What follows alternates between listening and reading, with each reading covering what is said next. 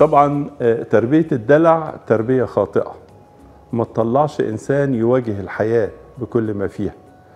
وتربية ال- الإغداق برضو شيء مش كويس. يطلع يضيع الإنسان في حياته. آه، التربية المتوازنة شيء مهم جدا. في أوقات أحتاج الحنية مع أولادي ومع بناتي. وفي أوقات أحتاج الحزم مع أولادي وبناتي. والأب الشاطر والأم الشاطرة هو اللي بيقدر يوازن ما بين هذه الاحتياجات.